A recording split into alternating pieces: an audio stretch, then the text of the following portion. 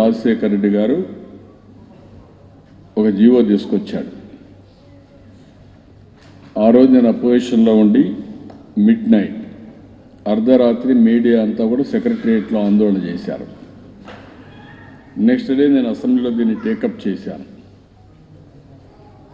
ఆ రోజు మీరు చూస్తే ముప్పై పది రెండు వేల పంతొమ్మిది GORT number nine thirty eight general administration political D department dated twenty two రెండు వేల ఏడు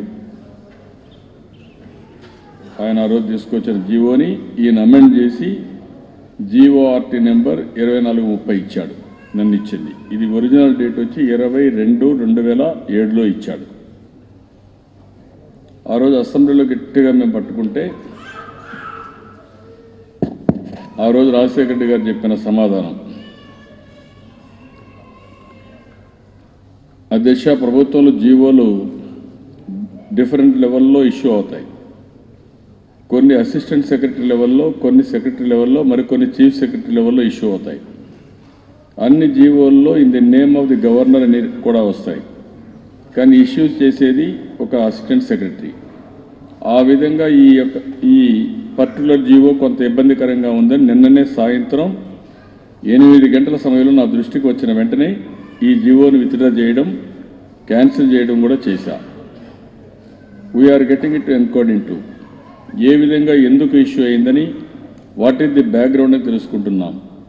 ఏది మంచి ఏది చెడుని తెలుసుకుంటున్నాం. ఆ జీవోలో మొట్టమొదటి media review meeting media watch జరిగిందని వచ్చింది. నాకు గుర్తున్నంత వరకు గడిచిన నాలుగైదు మాసాల్లో ఎప్పుడూ జరగలేదు. We're getting getting it encoding into ఆ ఎంక్వైరీ పూర్తయిన తర్వాత మంచి చెడు పూర్వాపరాలు చూసి whatever is to be done will do it ఊరికే లేని దానికి ఇష్యూ చేయడానికి ఎందుకు ప్రయత్నం చేస్తున్నారు? వాట్ ఎవర్ జీవో ఎస్ ఆ జీవో కొంత ఇబ్బందికరంగా ఉందని నా దృష్టికి వచ్చిన వెంటనే విత్డ్రా చేయించాను. What else can anyone do అది రాజశేఖర రెడ్డి గారు ఆ రోజు చెప్పి క్యాన్సిల్ చేశాను చెప్పింది. బరిదెగిచ్చాడు మామూలుగా బరిదెగించడం కాదు. నియంతలు కూడా చేరి ఈ పని. ఎక్కడ కూడా జరగదు ఇది.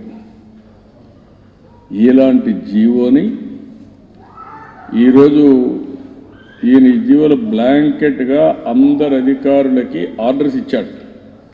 ఏమని మీడియా వాళ్ళు ఎవరన్నా ఆర్టికల్ రాస్తే అది ప్రభుత్వానికి మీకు డ్యామేజ్ జరుగుతుందని భావిస్తే ఇమీడియట్ కేసు పెట్టండి. మామూలుగా కూడా కేసు కాదు.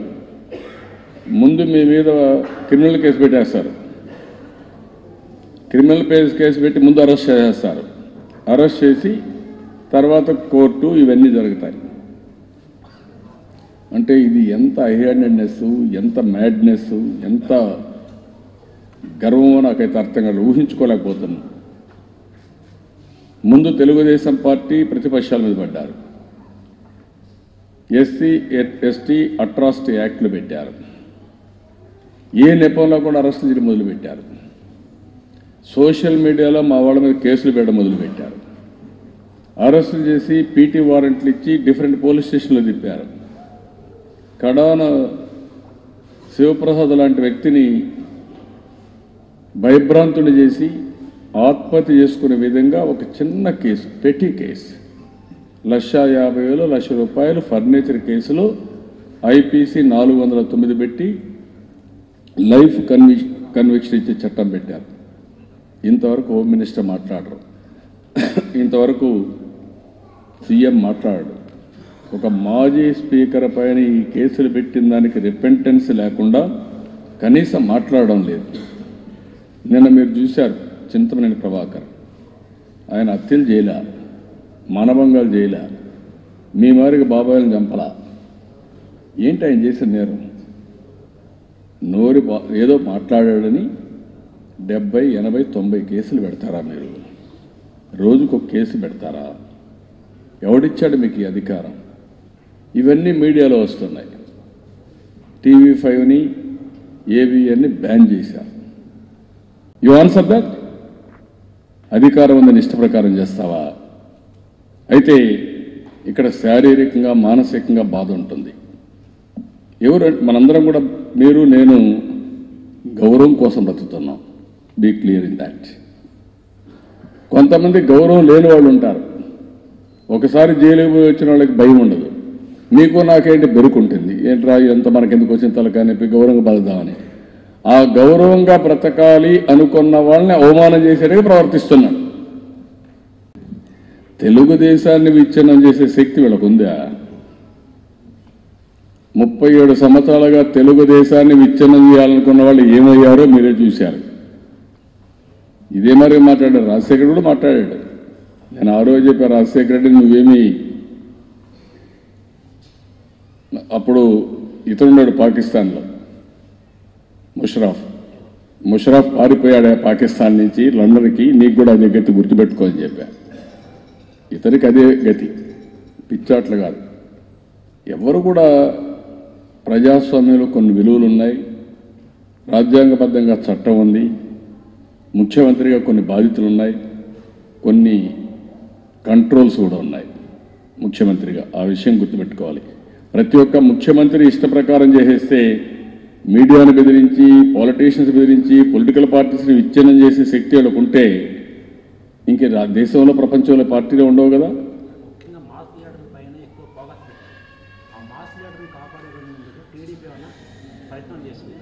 నేనేమంటానంటే మాస్ లీడర్ ఫైట్ చేస్తే ఇంకా మాస్ లీడర్ అవుతాడు.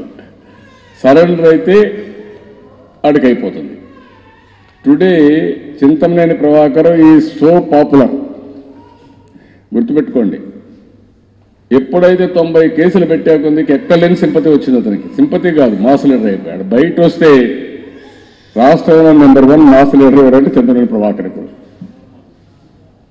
వై అట్రాసిటీస్ నన్ను అడుగుతున్నారు ఏం సార్ మీరు కూడా పోలేదే? ఇంకా చేయలేదే? ఏంటి కథ? మీరు సంఘీభావం తెలియజేయరా? అనే పరిస్థితికి వచ్చారు. దిస్ ఎ రియాలిటీ ఏం తప్పు చేశాడు అడుగుతున్నా. జగన్మోహన్ రెడ్డి డైరెక్ట్ కోసం చేస్తున్నా నీకంటే తప్పు ఏం చేశాడు?